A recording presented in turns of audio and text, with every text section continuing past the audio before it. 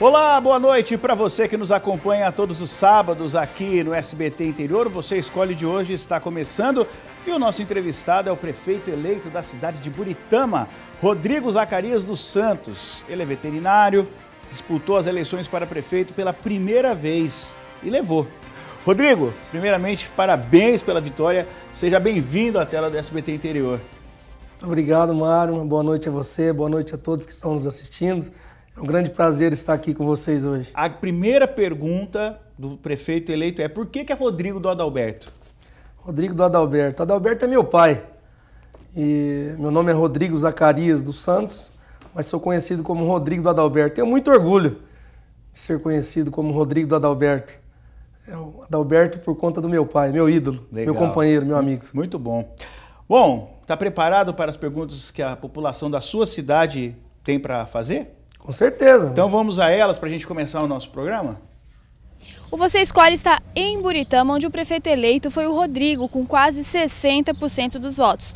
Nós estamos aqui para saber o que a população tem para perguntar para o novo prefeito que está nos estúdios do Você Escolhe. Eu gostaria de saber se o Rodrigo que poderia fazer para a nova gestão de Buritama em respeito à Santa Casa. Que benefício poderia trazer para nós? Então, Mário, com relação à Santa Casa, o nosso vice-prefeito, Dr. Herbert, o vice da saúde, como ele costuma dizer nos nossos comícios. A nossa proposta é voltar às especialidades que já existiu em Buritama e hoje não existe mais. Inclusive voltar o trabalho de obstetrícia, que também não existe em Buritama. Então, o nosso propósito é trazer para Buritama uma saúde com total qualidade, trazendo as especialidades, trazendo o serviço de obstetrícia e com certeza vai tratar com outros olhares a nossa população buritamense que merece o nosso carinho, o nosso respeito. Vamos a mais uma pergunta? Rodrigo, você vai melhorar o distrito industrial da cidade? Porque faz 10 anos que tem, acho que até mais, e não tem iluminação e não tem asfalto. Como é que vai fazer? Com isso, o desenvolvimento diminui. Com certeza. E essa meta também está no nosso plano de governo. Nós visitamos todas as empresas do distrito industrial e o objetivo é, com certeza, fazer a pavimentação asfáltica desse distrito e também a iluminação. Isso é o básico, não é achar que nós estamos fazendo muito, não, Mário. A pavimentação e asfáltica e a iluminação, as empresas que lá se encontram já faz tempo que estão correndo para que a administração pública olhe para essas áreas. E pode ter certeza que a administração do 10, a administração do Rodrigo, vocês podem ter certeza que vai estar voltada para as indústrias de Buritã. Vamos lá, tem mais perguntas.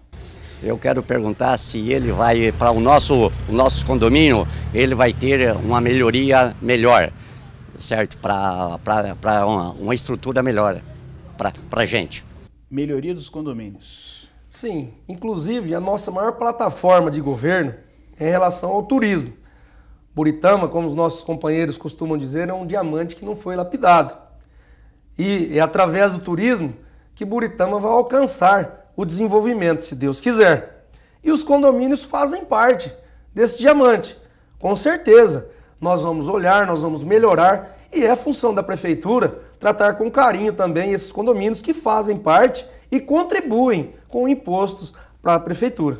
Bom, essa pergunta, a próxima pergunta, acho que é meio que geral para quase todas as cidades da nossa região. O senhor se comprometeu com a gente na campanha de asfaltar a estrada que vai para o Jardim Itaparica. Nesse final de semana nós tivemos 11 carros atolados lá por causa da precariedade da estrada que vai para lá. O que o senhor me responde a respeito dessa prioridade que é o asfalto para o Jardim Itaparica? Asfalto, asfalto é algo terrível para a grande maioria das cidades, né?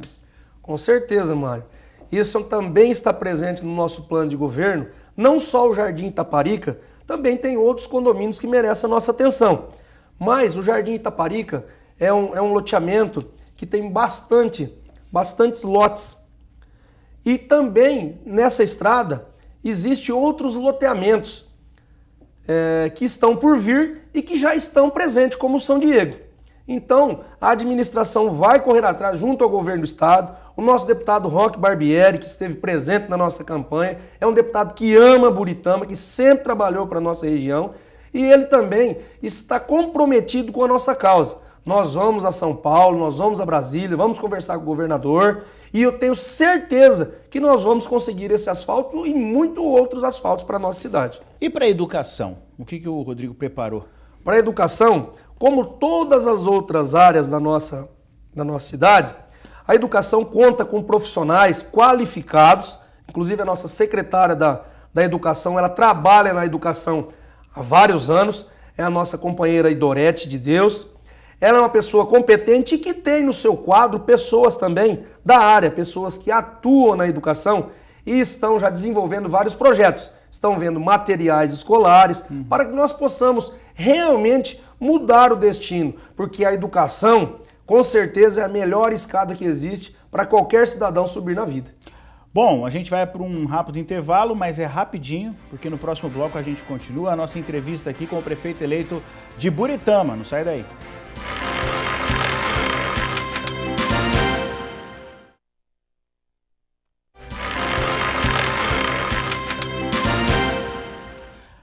No nosso estúdio aqui, no, é do SBT Interior, o prefeito eleito da cidade de Buritama, aqui da região de Araçatuba, o Rodrigo, que foi eleito e muito bem eleito, aí foi muito bem.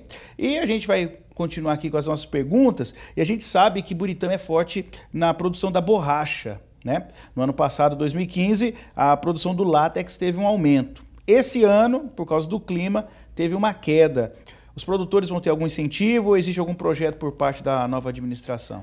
Com certeza. Na parte, na parte da agricultura, nós também é, temos nossos olhares para essa área que o, o, produtor merece o carinho, porque ele gera empregos, ele gera imposto, então a gente, nós precisamos.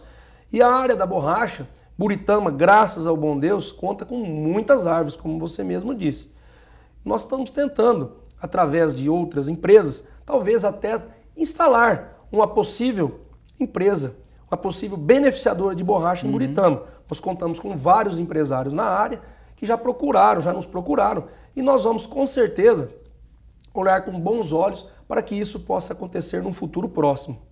Já, ainda falando da chuva, né, que ela, ao mesmo tempo que caiu um pouquinho a, a, no setor da borracha, na questão de turismo, né, encheu o Tietê, então o turismo voltou a ficar forte e a gastronomia também, né, Buritama é forte pela sua gastronomia. É, vai haver algum incentivo, vai, ser alguma, vai ter alguma estimulação, é, estimulação é, para aumento ainda mais é, desse fator? Com certeza, Mário. O nosso maior objetivo é fazer com que Buritama se transforme numa estância turística. O nosso deputado Roquinho, mais uma vez, ele esteve presente bastante na nossa cidade e ele está comprometido a fazer com que Buritama se torne em breve, talvez já nesse próximo ano, uma pré-estância turística. Buritama se tornando pré-estância, os investidores, com certeza nós vamos atrair esses investidores. Inclusive hoje Buritama já conta com um investidor lá, um investidor local, está construindo um hotel para a nossa cidade, um hotel que vai contar também com um restaurante. E isso nós vamos atrair o turista. Graças ao bom Deus, nós temos uma orla muito bonita. E nós temos com certeza que investir para que nós possamos trazer o turista, nós possamos trazer também investidores, para que, se Deus quiser, Buritama possa sediar uma estância turística e possamos cada vez mais usufruir dessa gastronomia maravilhosa que tem a nossa região. Rodrigo, como é que está a transição uh, da sua, da outra administração, né, que, tá, que vai te entregar dia 1 é, de janeiro de 2017, para você é, em relação a cargos comissionados? Explica um pouquinho para quem está te acompanhando. Mário, nós temos um compromisso de campanha, que é um compromisso de fazer do governo nosso um governo de participação. Nós queremos fazer uma administração diferenciada, voltada para a população, ouvindo as pessoas ouvindo o que há de maior necessidade no município. E nós montamos uma equipe, porém, a parte de transição ainda não foi oferecida pelo governo do município, governo atual. Nós já protocolamos um requerimento pedindo a transição, já protocolamos os documentos pedindo para que nos passem alguns, algumas informações sobre cargos comissionados, sobre cargos que já estão concursados e ainda não chegou, infelizmente, ao nosso conhecimento. Mas nós estamos conversando com pessoas das áreas, com funcionários. nós estamos nos inteirando da melhor maneira possível para que, quando chegar dia 1 de janeiro, nós estaremos com certeza bastante informados e vontade de trabalhar. Toda a nossa equipe tem muito. E vocês podem ter certeza que nós faremos uma Buritama melhor e maior para todo Buritamense, para toda a nossa região que venha nos visitar. Bom, é, queria voltar um pouquinho na, em uma, uma pergunta que uma moradora da sua cidade fez, que foi sobre o parque industrial. Como vai haver a melhoria, como está sendo é, prometido pela, no seu plano de governo e na sua administração, eu queria saber é, sobre é, a vinda de novos empresários. Né? Como, será, como será o incentivo do, da nova administração para trazer novos empresários, trazer mais dinheiro é, e mais divisa é, para a sua cidade? No momento hoje, é, com relação à indústria, em relação ao comércio, nós sabemos que não, não vivemos um bom momento, mas não é por isso que vamos ficar parados. O primeiro passo é melhorar o distrito. Como todo bom brasileiro, nós compramos com os olhos, nós investimos. Primeiro, nós vamos olhar onde nós vamos investir. Se nós temos um distrito industrial pavimentado, um distrito industrial iluminado, que comporta várias empresas, é lógico que o, o olhar do empresário, nós vamos atrair esse olhar do empresário. E o nosso, nosso maior objetivo é na área do turismo.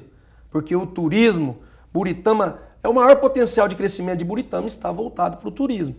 Se nós conseguirmos fazer Buritama se transformar numa instância, com certeza nós vamos atrair novos empresários para Buritama, que talvez não necessariamente vão se instalar no distrito industrial, mas talvez em outras áreas. Com relação a incentivos, primeiro nós vamos entrar, ver realmente qual é a situação que se encontra a prefeitura, ver qual realmente é a situação que se encontra o distrito industrial com relação à disponibilidade de terrenos, com relação à cidade, se temos outras, outros locais disponíveis para atrair o investidor. Mas você pode ter certeza que o nosso maior objetivo é trazer o investidor, é fazer Buritama virar instância para que nós possamos gerar empregos. E com relação a empregos, Mário, nós também temos um compromisso com o deputado Roque de trazer para Buritama um ETEC, uma escola profissionalizante. Porque não adianta nós trazermos as empresas se também não temos mão de obra qualificada para que possa trabalhar nessas empresas. Verdade. Bom, é, a gente está falando bastante de turismo, falando bastante de conhecer a cidade de Buritama. A prainha de Buritama é que é o cartão postal da cidade, que faz com que as pessoas vão a Buritama. Queria falar um pouquinho sobre a estrutura dela. Teve, teve um período que ela não estava legal. Como é que está hoje? Como é que é, como é que tá os, os cuidados da prainha de Buritama? Com relação à prainha, mano, inclusive está presente no nosso plano de governo também. Nosso objetivo é revitalizar o nosso parque turístico. A nossa prainha é famosa, ela atrai bastante turistas, porém está precisando de reformas. Está precisando reformar os quiosques, os banheiros, melhorar a nossa lanchonete e inclusive a área de camping. E você pode ter certeza que os recursos da prainha, e hoje a prainha ela recebe algum recurso, o, o, o cidadão que entra na praia, que aluga um quiosque, esse recurso vai ser destinado totalmente à praia, para que nós possamos revitalizar aquele parque, para que nós possamos atrair o turista e para que aquele parque possa receber de portas abertas todo turista, todo buritamense e toda a nossa região com o maior carinho que todo turista merece. Vamos falar um pouquinho de segurança pública? Sim. Vamos falar um pouquinho qual, qual é a visão da nova administração para a segurança pública do município? A visão de, sobre a segurança pública, nós também, junto ao governo do estado, adquirir mais profissionais da área, adquirir novas, novos carros, novas viaturas. Nós queremos também implantar o sistema de vigilância rural, a patrulha rural. Muitas das nossas propriedades rurais elas é, são assaltadas com roubo de gado, de tratores. E o pequeno produtor, o produtor que vive nas suas casas, no sítio, muitas vezes ele não se sente seguro. Então é importante também nós implantarmos a patrulha rural, o patrulhamento rural na nossa cidade. Melhorar a segurança pública, é feito um bom trabalho na cidade, nós queremos dar continuidade, queremos trazer mais efetivos, mais viaturas e também implantar o patrulhamento rural. Bom, qual vai ser a principal, qual que vai ser a prioridade assim que o Rodrigo assumir a cadeira de prefeito lá em Buritama? Principal prioridade, uma das perguntas com relação à saúde. nós vamos melhorar a nossa saúde, fazer com que a nossa Santa Casa volte a atender com especialidades, para que o nosso cidadão ele seja atendido com respeito, com qualidade. E com certeza o turismo, fazer de Buritama estância turística é o nosso principal objetivo além da saúde. E também não podemos esquecer da educação, porque não conseguimos subir degrau se não estudarmos. Não é verdade? Com certeza. Então vocês podem ter certeza que esse tripé vai ser a base do nosso governo. Rodrigo, e para a gente encerrar nosso bate-papo, é aqui a câmera 2 é a sua. Vai lá, manda um recado aí para a sua população. O que, a, o que a população de Buritama pode esperar do novo prefeito? Meus queridos amigos buritamenses, vocês podem ter certeza que teremos bastante empenho, bastante respeito, bastante honestidade com vocês. Como tivemos na nossa campanha, respeitamos vocês e pedimos o seu apoio. E eu quero que vocês podem ter certeza que vocês terão o que a nossa cidade merece, o que vocês merecem. Junto com Deus, pediremos muita sabedoria e temos uma equipe qualificada, uma equipe honesta para trazer para Buritama tudo de melhor. Faremos uma Buritama melhor e maior para todos nós, se Deus quiser. Em breve, os nossos sonhos serão realidade. Rodrigo, muito obrigado pela sua presença e sucesso na sua nova administração. Muito obrigado, Bom. Mário. Foi um prazer estar aqui com vocês. Espero em outras oportunidades com estar certeza, com vocês. As portas estão e vocês também estão convidados a tomar um café com a gente lá em Buritama, visitar a prainha, visitar a nossa prefeitura, acompanhar o nosso trabalho. Parabéns pelo trabalho que vocês fazem aqui na nossa região. Muito obrigado. E o convite está aberto mesmo. Assim que qualquer coisa, qualquer novidade, qualquer novas notícias, por favor, as portas estão abertas. E para você que está aí do outro lado, o nosso programa está acabando, não esqueça, hein? Você pode acessar o nosso portal se você perdeu qualquer detalhe. Lá você pode rever todo o nosso conteúdo do Você Escolhe, é só você acessar www.sbtinterior.com. Pessoal, antes da gente encerrar o nosso programa, eu tenho um convite para fazer para você. Hoje à noite, em São José do Rio Preto, já já, 8 horas da noite, vai acontecer aí a Unimed Night Run. É um, no circuito da Swift um evento que mistura esporte, música e diversas atrações. Vai ser muito legal e você não pode ficar de fora não. E o SBT, é claro, vai estar presente nesse grande evento realizado pela Unimed São José do Rio Preto. E quem vai cobrir a corrida é a nossa querida repórter do SBT, a Tatiane Ferreira. Oi, Tati, tudo bem? Boa noite. Conta pra gente aí como que vai ser a corrida Unimed Night Run.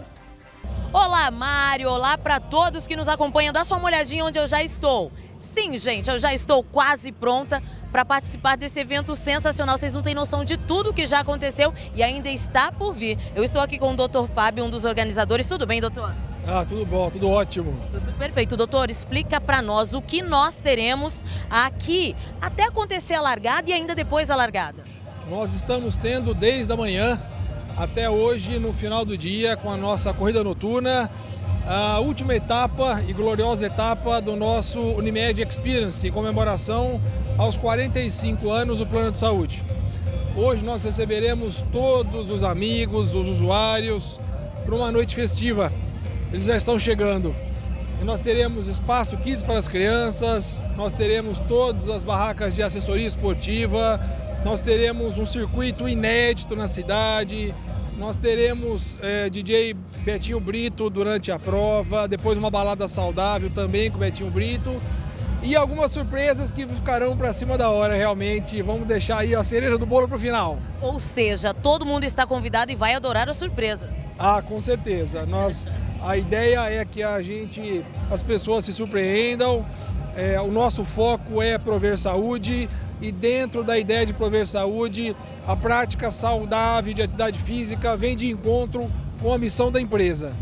Então aí nós estamos com muito, muito alegres de estar aqui hoje com todos os nossos colaboradores. Isso mesmo, doutor, muito obrigada. E ó, eu só quero contar para vocês que eu já sei mais ou menos o que vai acontecer. Vem para cá que você também vai descobrir. Até mais, gente.